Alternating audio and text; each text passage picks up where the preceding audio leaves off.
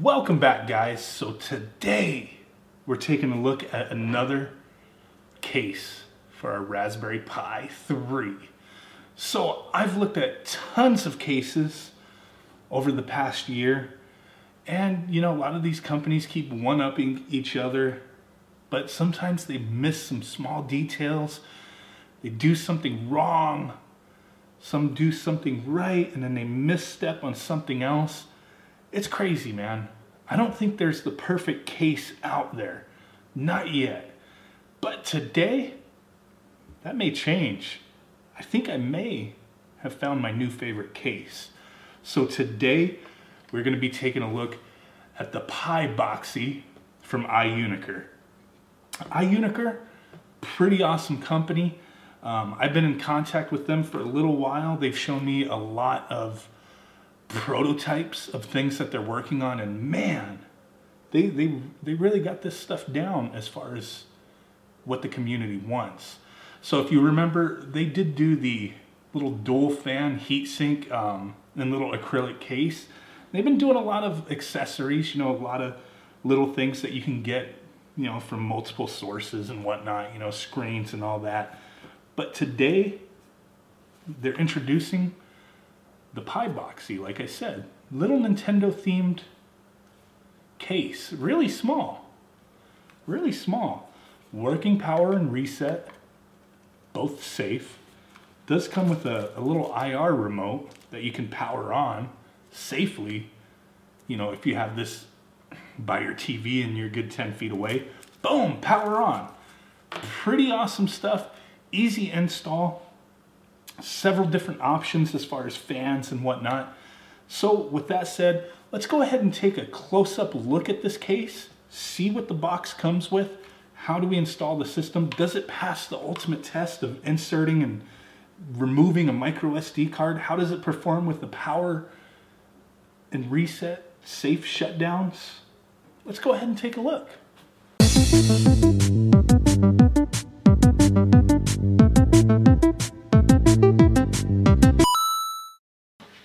So we get this pretty awesome little box, the little Pi Boxy logo there, entertainment system. Looks looks like, you know, the, uh, the NES Pi box. Pretty cool stuff. But inside the box, you do get some screws, screwdriver, your, your Pi Boxy case. Pretty good stuff. You get your IR remote. Pretty simple, you know, one little push, power on, power off. Looks like it uses a CR 2025 battery. Okay. And you do get a step-by-step -step instruction manual on how to install everything.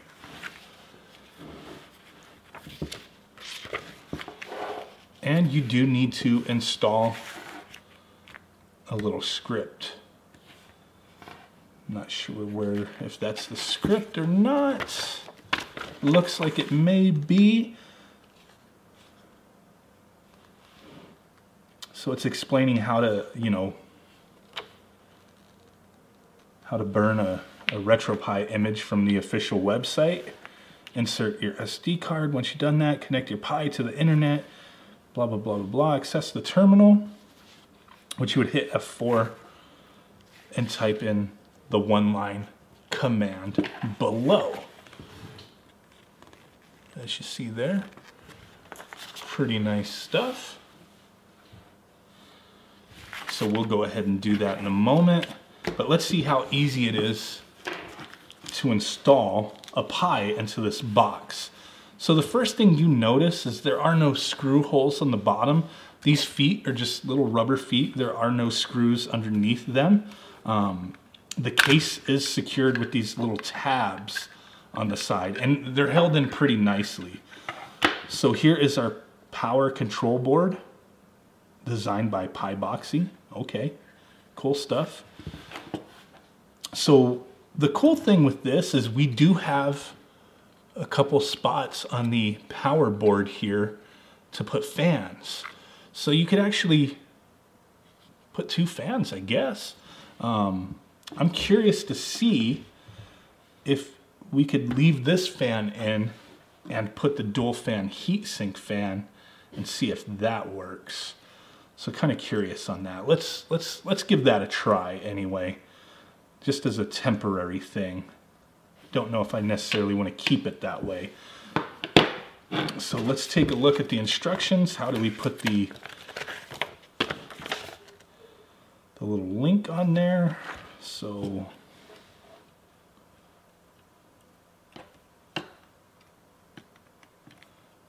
This slides into the GPIO as such. And it looks like you need to make sure these red cables are up here on that side.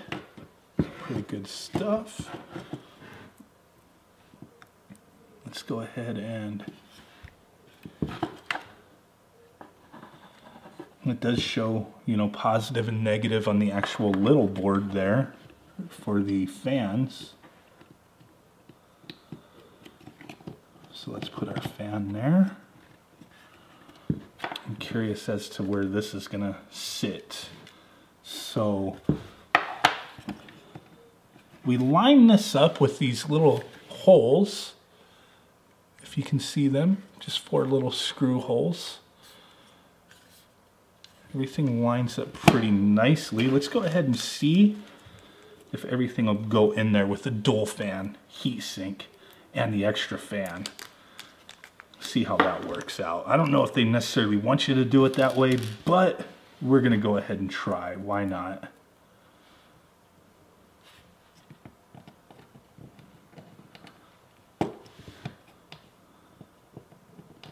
Let's try to get these screws in straight. We'll just do two of them for now.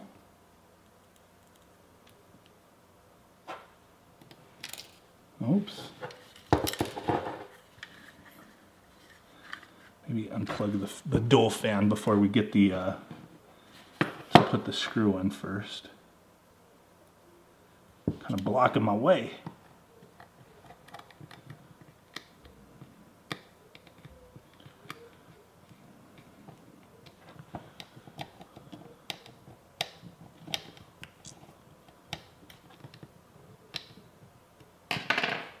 Okay, got that in there. I don't really have the dual fan um,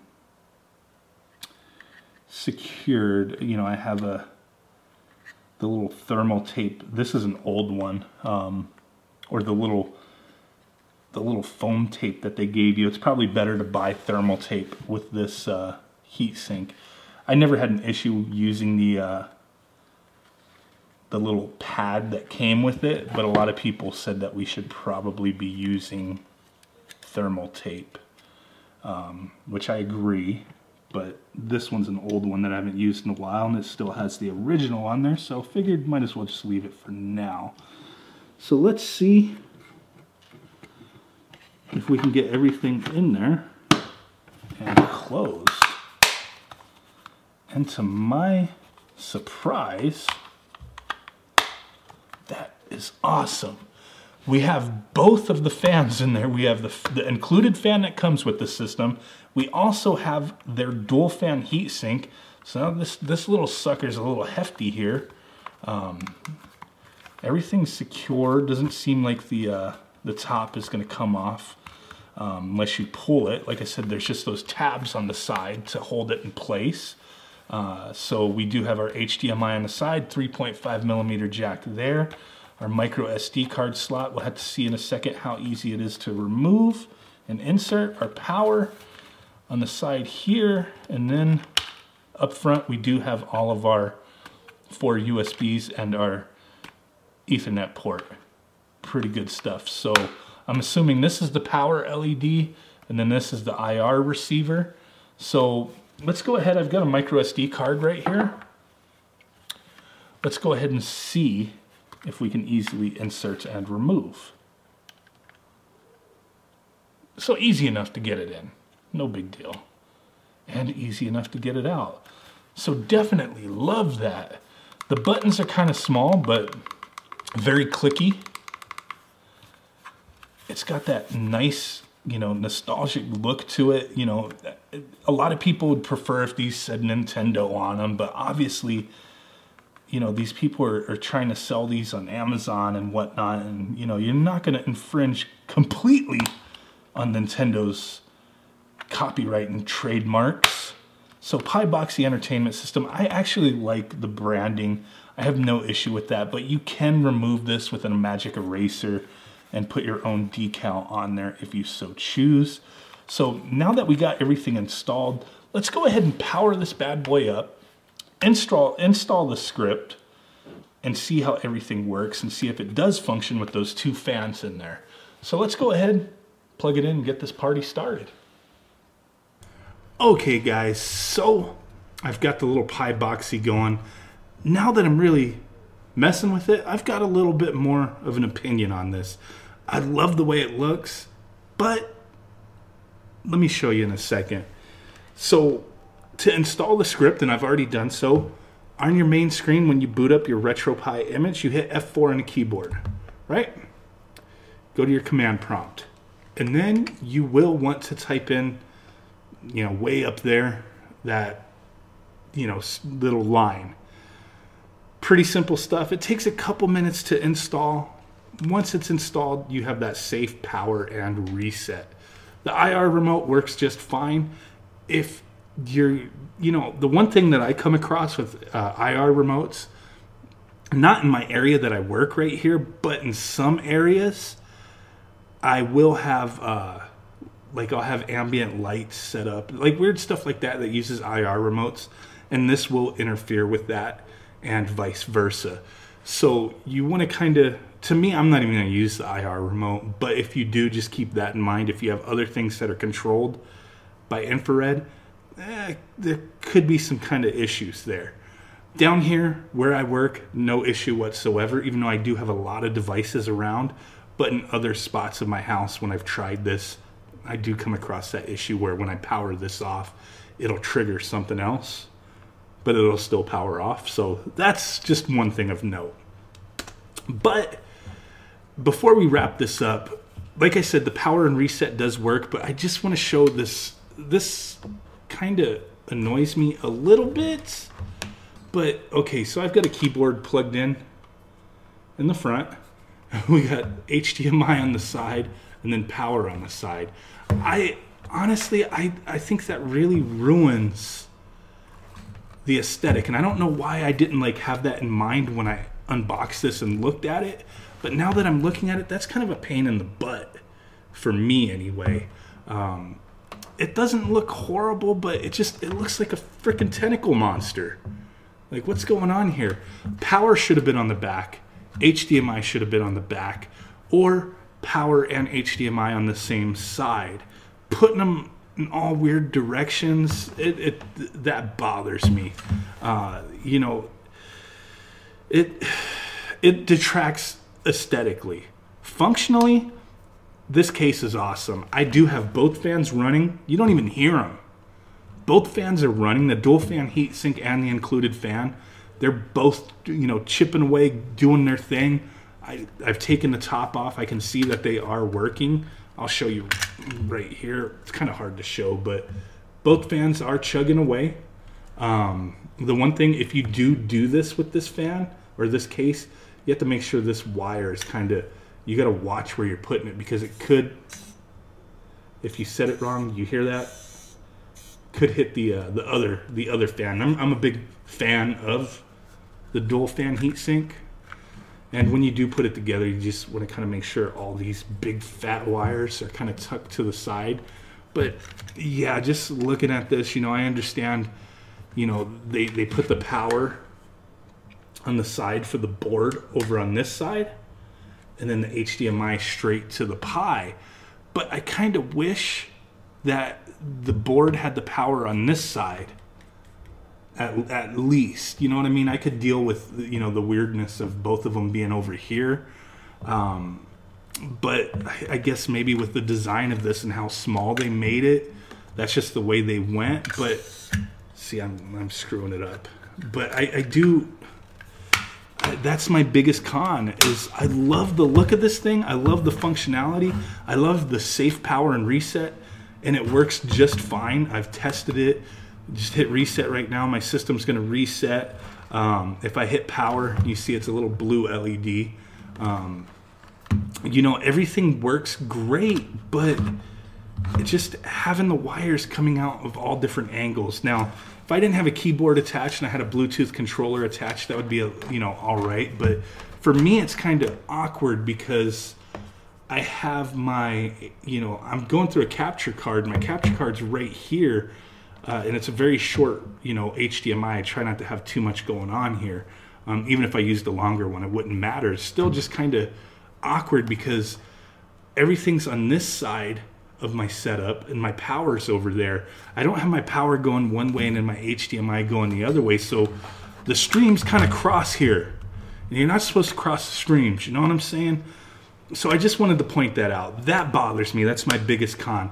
I love the look of this little bastard. I love the ease of, you know, the micro SD card going in and out. I love the power and reset. Love that the IR remote works, even though I would never use it it, it's a beautiful looking case, but just the placement of that power bothers me. I'm gonna use this, but I'm just not super excited that, that it's an octopus. It's a tentacle monster. It is what it is, guys. If you're interested, I will have a link down in the description for both this case, which does come with the little fan, and also the dual fan heatsink, which is one of my favorites. So peep it out, smash that like button, subscribe, do all that cool stuff. And with that said, guys, I will catch y'all next time. Peace out. Bye bye. Boom.